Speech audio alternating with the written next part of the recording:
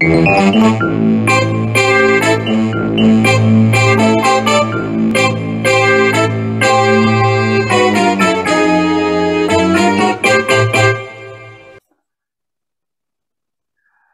everybody, and welcome to the next edition. I think it's the 71st, I think, um, of 70. the 70th of the Frank and Stan chat. As you can see, um, we're, we're, we have a guest with us today. Hello, Jenny. Hi. Hi, it's lovely yeah. to have you with us. Um, I know you've been watching our videos yeah. uh, for uh, a few months, so it's great to have you. Yeah. Stan, you were going to smile, uh, laughing then, was that? Yeah. Were you going to say something about no, it's just I remember saying saying to Jenny when she said that she was she was watched several. I said you need to see a psychologist. it turns out you didn't need to see one. yeah, no, I found them really really interesting, really useful as well. Definitely in my yeah in my work. So yeah, good, good. And, um, and, we've had a big compliment this week, haven't we, from somebody who said that the uh, they feel this is like um, gone fishing. God, yeah, we're yeah, um, yeah. I mean, I never, I ne- we never started off to to, to achieve this, Stan. But uh, it's nice though that it, it. I mean, I, I regularly get people come up to me and say, "Oh, I think I've seen you," and then, "Aren't you the Frank and Stan?" Um, but it's great that uh, our little witterings each week seem to sort of strike a chord. So, uh, Jenny, there, there may be one or two people who don't know who you are. So, can you just explain to them who you are? Yeah, of course. So yeah, so um, yeah, my name's Jenny Mullineaux. I'm a clinical psychologist. So I uh, I specialise in working with children and young people and their families and systems around them.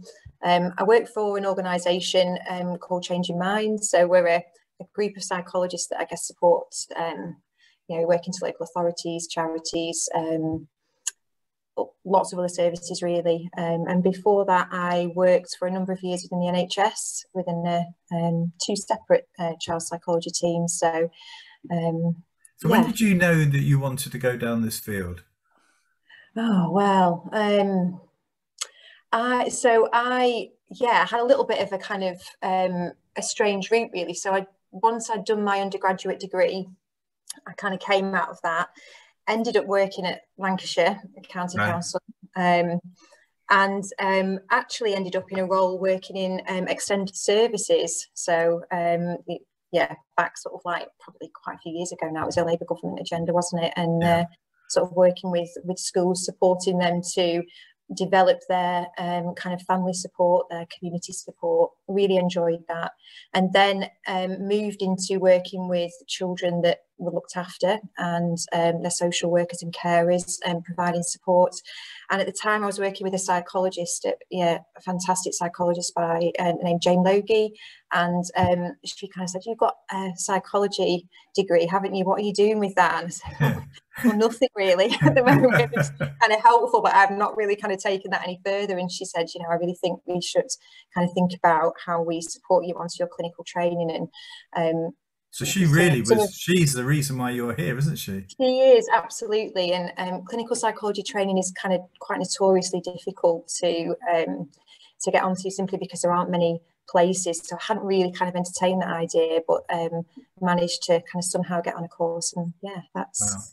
So yeah. that interest in psychology was that started at A level at, at school or college? Yeah, yeah, definitely at A level, um, and then yeah, I, enjoyed it most at A level. What I found when I went to university is that somehow it suddenly got separated from anything to do with what felt like human experience. it suddenly became really quite academic, um, didn't have any placements, didn't really leave with a very good understanding of, if, if I'm honest, what kind of a psychologist might do and what their work might be. And then when I started to have some experience of that just through work, um, I thought actually, yeah, this is something that I could really see myself doing. So, and then one of your previous guests, Mark Borden, um, yes. who is a good friend of, of, of, of, mine and, and my dad's that you've also had on as a guest, um, we kind of got chatting about it as well. So, yeah, a few sort of different influences, really. Yeah, my daughter studied A level uh, psychology, but when she went to uni and she's got a psychology degree, it was the the statistics element of it that I think saw off some of the other students. You know that, that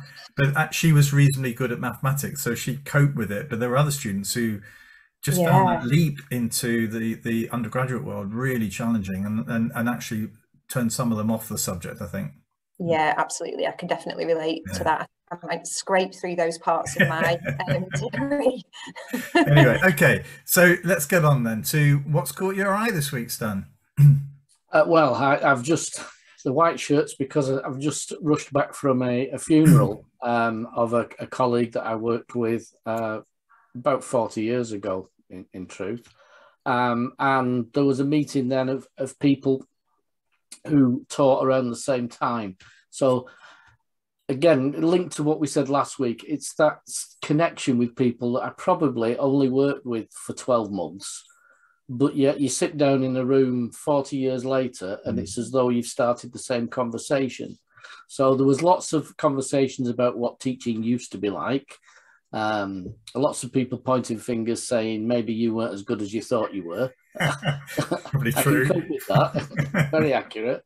Uh, but the, the, the thing that stuck with me and thing that's caught my eye is is that the the sort of donations for the funeral were to Salford Children's Holiday Camp, which is when I worked in Salford, which was somewhere that we took children for a holiday, not not um, learning, well, learning in a different sense, not work, it was mm. literally a seaside holiday. And it goes back to the 1930s, I think, the camp. It was originally known as uh, Salford's Poor Children's Holiday Camp, which is hard to sell to some of the more affluent schools.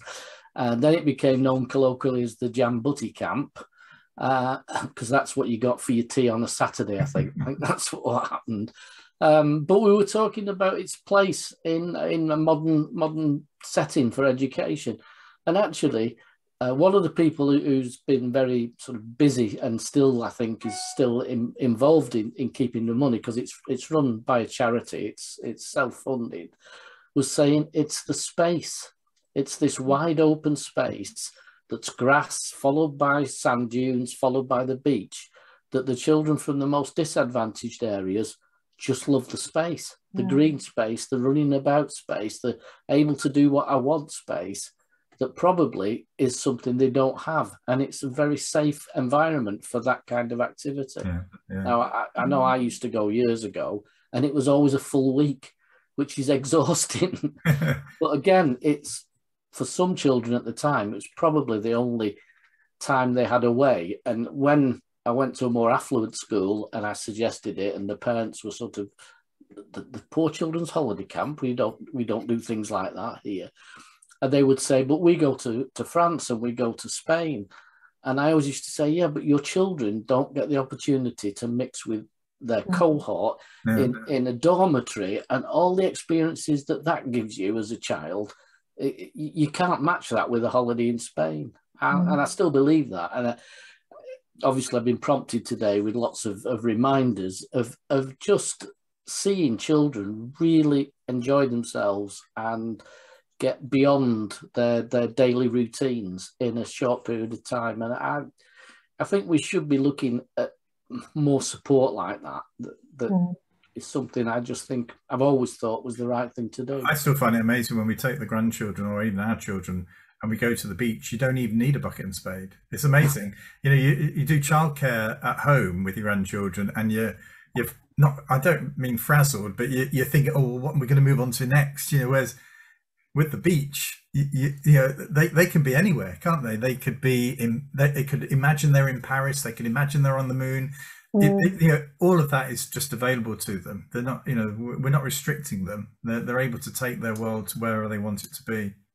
What about you, Jenny? What's caught your eye this week? Um, so I guess what's caught my eye, there's lots, there's been lots, hasn't there, in the news. Um, I think one of the things that's particularly caught my eye was around um, kind of Keir Starmer's speech, really, and um, within that making reference to, um, you know, Labour planning to um, increase, I guess, mental health support and increase the number of mental health specialists and, and, and fund more mental health services in it.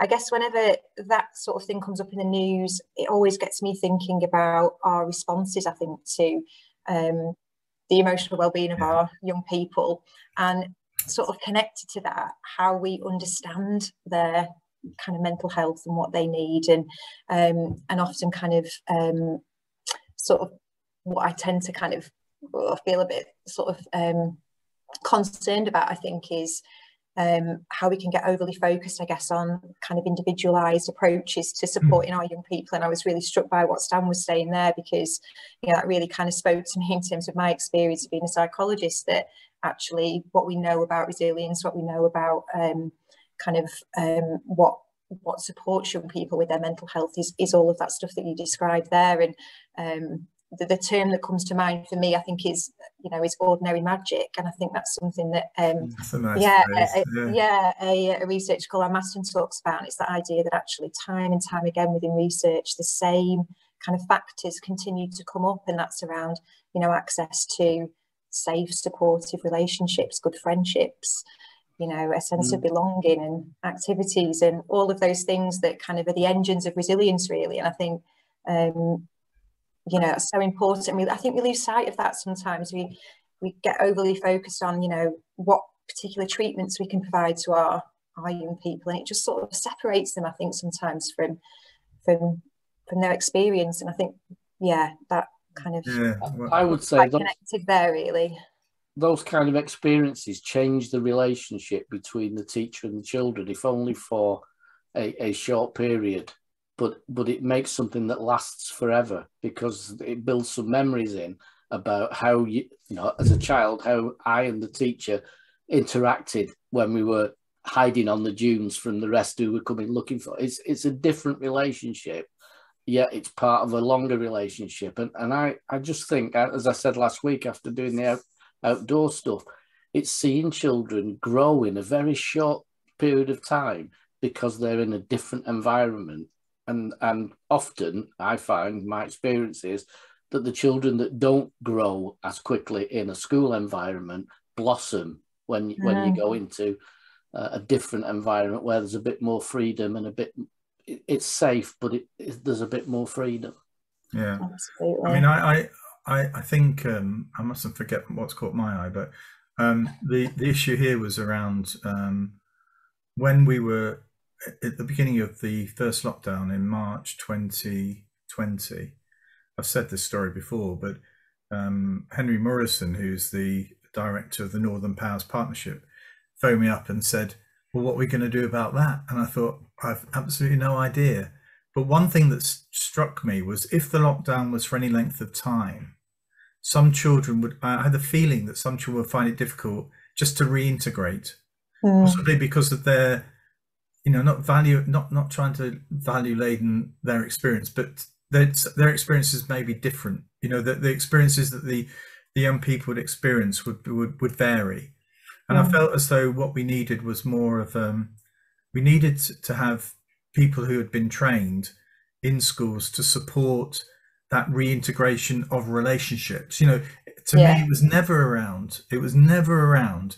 Oh, how much mathematics have they lost, or how much reading have they missed? You know, it was always about how can we how can we enable these young people to feel supported and helped in sort of the human bit of it you know yeah. not you know okay we can get on with the learning a little bit later on but for me it was always around those relationships and so the work we were talking before that you, have been in some Sheffield schools recently, um, um, and the paper that we that I wrote and was developed went to the DFE and turned from mentoring into tutoring, and the tutoring then I you know it was it became something completely different. Mm. um, and i'm not surprised that the tutoring element of it has really struggled to take off but actually, I'm really pleased because you were saying that you were in some Sheffield schools where it looks as though the Grow Mentoring Program, which is being run out of Sheffield oh. University, looks as though it's had some mileage in in a particularly interesting school that you've been in. Yeah, absolutely. And I think this particular school that I've been in, um, you know, the needs of the population um, that they support, you know, it's a, a, community with really high levels of disadvantage, very high levels of mobility. Um, you know, and and and and high levels of trauma within the community mm. and and for many of the children that come into school. And I think that whole idea around connection and and safety within relationships is absolutely central, and not just because it's important for mental health, but because those are the sort of those those are the key things that are going to support a child's engagement in school and in learning. And without them, then they're not going to be able to do their maths or their English, are they? Because they're feeling sort of disconnected or unsafe. So it's great to see that schools are really thinking about how they um, respond in these ways, I think. So, and really keep relationships at, at the heart of things. It's part of the reason why I moved out of sort of kind of NHS. So I've got to be careful here, but you know, there's some amazing work that goes on yes. in the NHS. But also, I think, you know, in terms of, I don't think we get to support those relationships enough you know, if we're sitting within services that have 18 month waiting lists and, you know, we're seeing children for one hour a week, we're not supporting those no. people, are we, that are trying to connect and develop relationships with children on a day to day basis. And actually, it's those things that are going to make the key difference. So, it's, that's really interesting because actually, it, it, it does open up questions about training of teachers mm-hmm. in, in relationship building. I, I can't ever remember um, being taught how to develop a relationship with um, a child who's experienced some traumatic event. Mm. Now, I'm sure there is some training going on, but I'm just saying I didn't, I never. Yeah, I mean, Frank. I know, but, you know, but it was, it, but also, you know, thinking about some people are very good at creating relationships. You know, I, I think I'm, I was talking to my wife this morning, I think I'm particularly good at doing no that's steady is that, is that the same connection? I'm particularly good at making relationships. I was even talking to my wife today. But i'm i'm good on the uh, i think i'm confident at sort of meeting people for the first time and then sort of breaking the ice with them. But actually i don't think i'm really patient enough to continue with that discussion. You know, I, I'm moving on to the next, but, but my wife is the one who can come in. She's often very nervous about meeting people for the first time, but then she's she's with them. You know, she's really engaged, and then it's always me trying to pull her away from those discussions. You know, so it's as if um, you know, I, my skill set is in a certain field. I actually think I need sort of development in how do I develop that sort of relationship where she's got that but hasn't got the breaking the ice type thing and we've never ever you know thought about how can we support people to be able to you know to mm. develop these relationships and to actually sort of show that they are you know I don't know how you actually you know yeah. quite difficult to break the ice how do we help them break the ice yeah. how do people like me who can't keep it going for how do we help him you know develop yeah. those relationships but don't, don't you think frank that some of that time that that teachers would would develop that relationship with their class and with with individuals in the class has just been squeezed out of the mm. of the curriculum completely. Well, it's all in the it's all in the learning. Is the learning as if the learning has got to be academic or it's got to be related to a performance thing. It was interesting. Um, I was listening to Lemn Sissay last night at the Winter Gardens in Blackpool because he launched this uh, Blackpool Literacy Initiative. It's it's about it's for the whole town, trying to get everybody to just to read a little bit more in the, uh, in their lives. But Lemn Sissay said there are there are some very dangerous people out there, and they're called data killers. And what he meant by that was just this overemphasis on data, which is very helpful. Data is very helpful, but when you overemphasize it, it kills everything. Hmm. Absolutely, you know, and, and I think it's so. Sorry, Frank. No, go on, Jenny.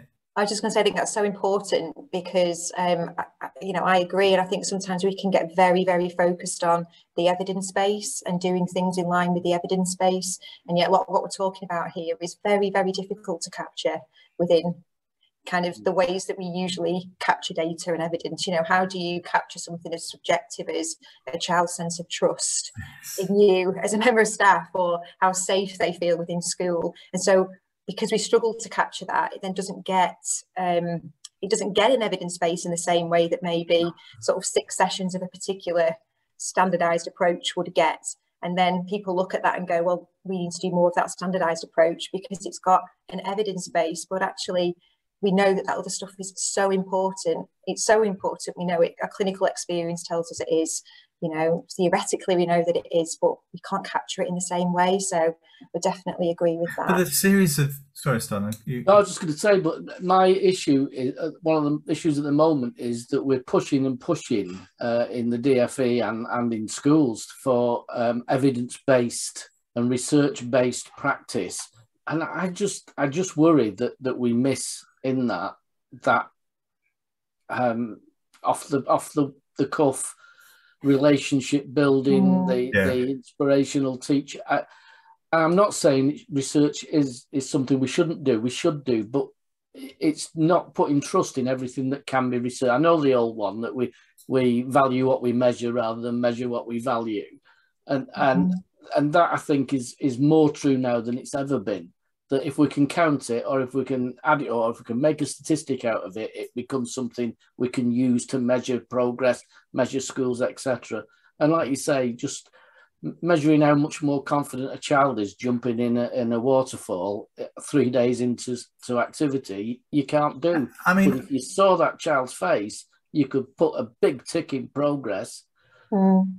But not the progress that makes the school better. Well, I, I'm, I was one of the things that I was reviewing this week is um, uh, uh, an educational researcher, you know, basically was dissing lots of this and he used the term. I think I've got to look at pedag pedagogue mimicry or something. Pedag pedag pedagogimicry, and basically what he was saying was that you know it's very very difficult you know to actually evaluate learning and you know by trying to look at this in data terms it sort of downplays the complexity of it mm. and basically just allows you to measure in the easiest areas and ignoring the stuff that Stan's talking about and the thing that you were mentioning, mm-hmm. you know, and actually, therefore, it then gets ahead of steam, and you think, "Oh, we're heading towards the silver bullet, folks," you know, and and the, the people that are suffering from this are the poor kids, isn't it? Yeah, yeah, absolutely. Yeah. Um, absolutely. Yeah. So, I mean, I, the I was just going to say, Jenny, if if we gave you the the yeah million dollar yeah. um, question now and say so if it was down to you how how would schools best support children's emotional development how would they do it well, can i just say how would they it's not just emotional yeah. development is it no well their it's, development then. their development because actually i think we've got to cut into this sort of it's all got to be about the learning you know?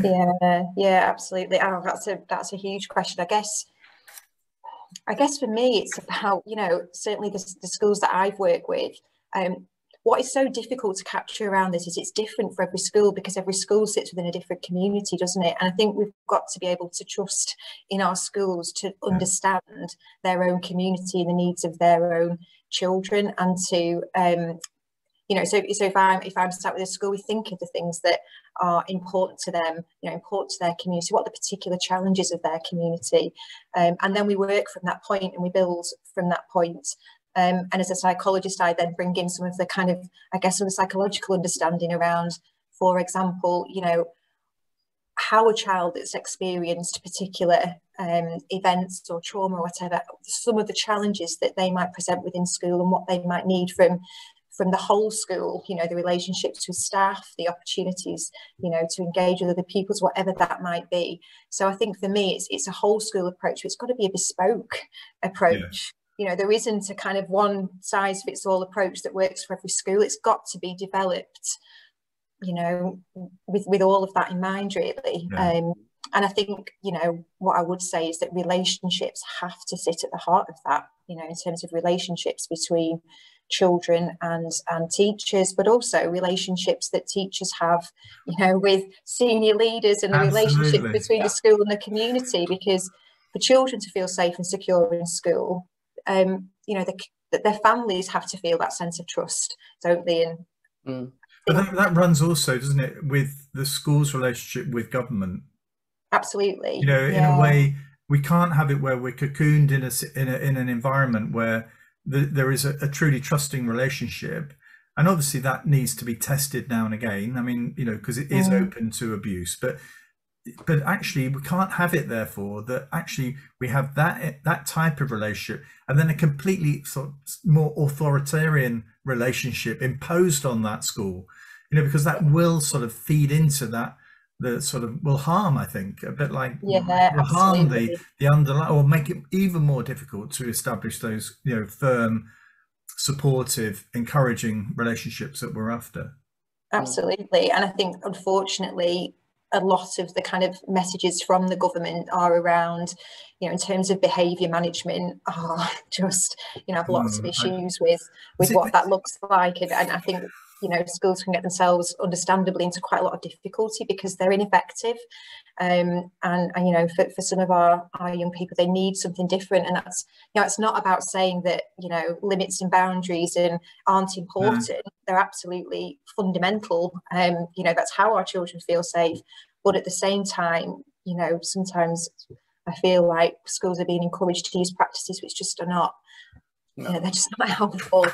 So and sometimes we don't even talk to the children, do we, about about it? I mean, I remember part of what I was doing at one point was interviewing some some students who'd been excluded, and one, one girl said, "Well, I was excluded for non-attendance." Yeah. How does uh, whose what she said was whose bright idea was that? yeah, absolutely. You know, and it, you know for, for young people that have experienced some level of trauma in their lives often exclusion is such a key theme yeah. within that. So if yeah. we start to get involved in that it ends up then kind of you know inadvertently repeating and you know cycles that they've experienced which are you know potentially quite traumatic really. So i think there has to be you know there has to be a different way. And that for me that's that's got to be about kind of equipping staff with that understanding. You know young people that are, you know, have experienced trauma, you know, can be very difficult to relate to. They've developed patterns of relating and behaving to keep themselves safe that often mean that they can present with behaviour that's really, really challenging. And, you know, I think for teachers, you know, that can often feel very personal, it can feel very difficult, and it can be difficult to empathise with a young person that is chucking chairs around or shouting hurtful comments at you. And if you aren't supported to understand why that's happening, then you know, for staff that can get very, very stressful and um, and difficult. So I think there has to be some intervention there for staff, doesn't there, to help them yeah. to understand that and support children. For me, this is all about the culture of the, of the school and, and the relationship between staff is is a cultural thing that affects, mm. from my view, affects children. And I, I was reading somewhere about what somebody answering the question, "What are schools for?"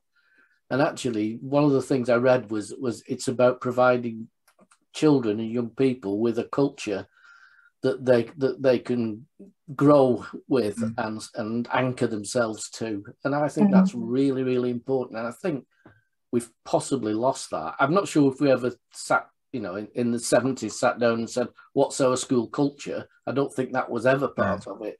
But the, you know, I think in some of the schools I've worked in, I know there were very different cultures, and I've seen culture change in some of those schools. Mm. And I know when the relationships are right with the staff, then relationships with the children were so much better. I can mm-hmm. think of a school in, in the middle of Salford that I taught in where uh, when I first joined, nothing to do with me, this, I'm not saying I fixed any of this, but when I joined it, it was regular, not unusual to have fights at lunchtime, dinner time, children, you know, arranging fights by the time I left, we had no no record of, of a fight or falling out or anything. And this was in a, a tough area. But it was, I think it was because the relationship that built within the staff meant that it was no longer acceptable. And the children gained from that. Mm-hmm. They understood it and, and they were better. They reacted with each other better. I have to say, it might well have been the school being an island at the time because, you know, I remember once trying to get cricket going and saying, yeah, take some cricket stuff home and, and play at night. And they said, oh, we can't because I can't go on his street. We're not, you know, we're on a different street. We're not allowed to go on his street because their gang will beat us up. Mm. Hang on, y- your mate's in school, yeah, but not no, not on the right. streets. Yeah. it's interesting listening to Lemn Sissay last night. The point you were making there, Jenny. I think he he his I've heard him speak four times now, and he's trying to cleanse himself by talking to others. He, he, says, well, I'm sharing this because I think it's important you hear it. And yeah, okay. But it's how he feels about himself and yeah. his and the pain he has felt in his childhood um, is actually providing him with a career at the moment. Mm-hmm. Um, but actually, it's as much about him trying to rid himself of it. You know, by talking about it, it feels as though it's like something in him. He's coughing it up, sort of thing. Mm-hmm. And and I have to say, uh, uh, it did make me think very hard yesterday again about um, you know if we're not serving the the most troubled children in our schools, we're not serving them. You know, because actually, if we can't get that right, there's no way that the you know the kids that have got everything going for them, you know, they might they might get a great education, but it's at the expense, isn't it, of mm-hmm. those who haven't got that opportunity. You know, and it does make you feel as though well, you know, forget inspection and forget all the league tables, but just focus in on these children and you'll probably see fundamental improvements in the system in any case you know because suddenly people will be more aware more focused on those that need the help and it will be more equitable as well in terms of what we provide yeah absolutely absolutely. And i think you know i think similarly you know certainly in in the health service um you know whilst you know whilst there is great work that's happening there i think for our most vulnerable children and young people there know that that way that that sort of model of care just is just it's you know it's it, it's inaccessible for them isn't it you know if we think what you need to get to CAMHS for example you need yes. someone to take you to a GP you need then someone to take you to appointments you need to